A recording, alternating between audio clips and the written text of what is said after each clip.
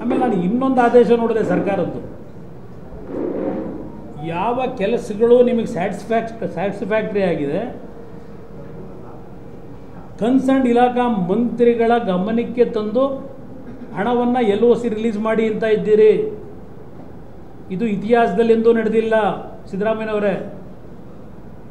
ಸಂಬಂಧಪಟ್ಟ ಇಲಾಖೆಯ ಮಂತ್ರಿಗಳ ಗಮನಕ್ಕೆ ತಂದು ಎಲ್ ಒ ಸಿ ಕೊಡಬೇಕಂತೆ.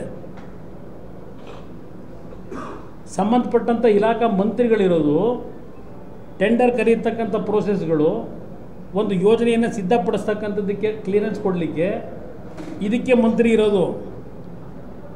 ಕೆಲಸ ಮಾಡಿ ದುಡ್ಡು ರಿಲೀಸ್ ಮಾಡೋಕ್ಕೂ ಮಂತ್ರಿ ಪರ್ಮಿಷನ್ ತಗೊಂಡು ಕೊಡಬೇಕಾ? ಎಲ್ಲಿಗೆ ಹೋಗಿದ್ದೀರಿ ಈಗ ನೀವು ಈ ಸರ್ಕಾರ?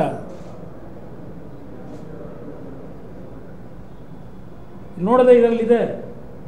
ಯಾವುದೋ ನಿಮ್ಮ ಎಲ್ಲಿ T T T T Krishnamachari finance minister ಇದ್ದಾರಲ್ಲ, ಅವ್ರ ಕಾಲದಲ್ಲಿ ಇದು ಮುಂದ ಮು- ಮುಂದಾರ scandal nineteen fifty six fifty ಸೆವೆನ್ನಲ್ಲ ಒಂದು ಸ್ಕ್ಯಾಂಡ್ಲ್ ಆಗುತ್ತೆ. ಎರಡೂವರೆ ಲಕ್ಷ ಪಾರ್ಟಿ ಎಲೆಕ್ಷನ್ ಫಂಡಿಗೆ ಕೊಟ್ಟಿರ್ತಾನೆ ಅವನು. ಅವನು ದೊಡ್ಡ ಶೇರ್ ಮಾರ್ಕೆಟ್ ದೊಡ್ಡ ಘಟ ಅವನು. ಎಲ್ ಐ ಸಿಗೆ ಅವನ ಶೇರ್ ಎಲ್ಲ ಬಿದ್ದೋದಾಗ, ಎಲ್ ಐ ಸಿಗೆ ದೊಡ್ಡ ರೇಟ್ ಕೊಟ್ಟು ಮಾರಾಟ ಮಾಡಲಿಕ್ಕೆ ಪರ್ಮಿಷನ್ ಕೊಟ್ಟರು ಅಂತೇಳಿ ತೆಗಿತಾರೆ ಅವ್ರನ್ನ ಕ್ಯಾಬಿನೆಟ್ಟಿಂದ ಆಮೇಲೆ. ಎರಡೂವರೆ ಲಕ್ಷ ಡೊನೇಷನ್ನು ಎಲೆಕ್ಷನ್ಗೆ ಟಿ ಟಿ ಕೃಷ್ಣಮಾಚಾರಿ, ಅದು ವೆಸ್ಟ್ ಬೆಂಗಾಲ್ದು ಯಾವುದೋ ಇನ್ನೊಂದು ಎಲೆಕ್ಷನ್ ಎರಡೂವರೆ ಲಕ್ಷ ಅವ್ನು ಕೊಟ್ಟಿರ್ತಾನೆ ಅಂತೇಳಿ ಮುಂದಾರ ಸ್ಕ್ಯಾಂಡ್ಲು ರಾಜೀನಾಮೆ ಕೊಡಬೇಕಾಯ್ತದೆ. ಇವತ್ತು ಕೇಳೋದಿಕ್ಕಿಲ್ಲ ಇವತ್ತು. ಮೊರಾರ್ಜಿ ದೇಸಾಯಿ ಅವರು ಐದು ವರ್ಷ ಇದ್ದರು ನೆಹರು ಕಾಲದಲ್ಲಿ.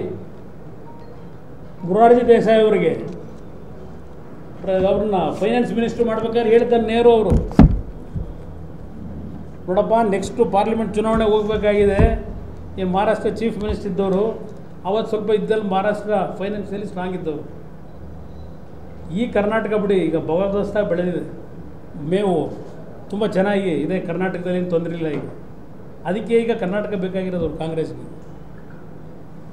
ಮೊರಾರ್ಜಿ ದೇಸಾಯಿಗೆ ಅಸೈನ್ಮೆಂಟ್ ಕೊಡ್ತಾರೆ. ಅವರು ಮೊರಾರ್ಜಿ ದೇಸಾಯಿ ಅವರು ಹಲವಾರು ಕಾರ್ಪೊರೇಟ್ ಕಂಪ್ನಿಯವ್ರನ್ನ ಕರೆದು ಚೆಕ್ಕಲ್ಲಿ ಕೇಳ್ತಾರೆ, ಈಗ ಅದೆಂಥದೋ ಮಾಡೋರಲ್ಲ ಬಾಂಡು. ಅವ್ರು ಆಗಲೇ ಹೇಳ್ತಾರೆ. ನಾನು ಇದರಲ್ಲಿ ಯಾವುದೇ ಕಾರಣಕ್ಕೂ ಪ್ರೈಮ್ ಮಿನಿಸ್ಟ್ರಿಗೆ ಹೇಳ್ತಾರೆ. ಕಲೆಕ್ಷನ್ ವಿಷಯದಲ್ಲಿ ಪಾರ್ಟಿ ಫಂಡು ಟ್ರಾನ್ಸ್ಪರೆನ್ಸಿ ಇರಬೇಕು. ಚೆಕ್ಕಲ್ಲಿ ಬ್ಯಾಂಕ್ ಅಕೌಂಟಿಗೆ ಅಮೌಂಟ್ ಕಟ್ತಕ್ಕ, ತಗೊಳ್ತಕ್ಕಂಥದ್ದಕ್ಕೆ ನಾನು ಮೀಟಿಂಗ್ ಮಾಡ್ತೀನಿ ಹೊರತು ಕ್ಯಾಶ್ನಲ್ಲಿ ದುಡ್ಡು ತಗೊಳ್ಳಲ್ಲ ಸಾರ್ವಜನಿಕವಾಗಿ ಜನಗಳ ಮುಂದೆ ಇಡಬೇಕಾಗುತ್ತೆ ಅಂತ ಹೇಳ್ತಾರೆ ಮುರಾಜಿ ದೇಸಾಯಿ. ಕೊನೆ ಕೆಲವರು ಒಪ್ಪಲ್ಲ.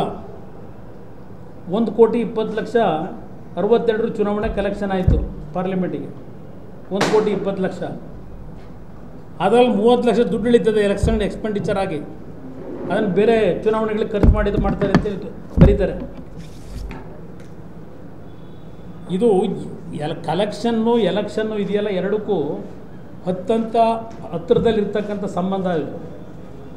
ಎಲೆಕ್ಷನ್ ಆಗದೆ ಕೆಲವರಿಗೆ ಕಲೆಕ್ಷನ್ ಮಾಡೋದಕ್ಕೆ ಇರ್ತಕ್ಕಂಥದ್ದು ಇಲ್ಲಿ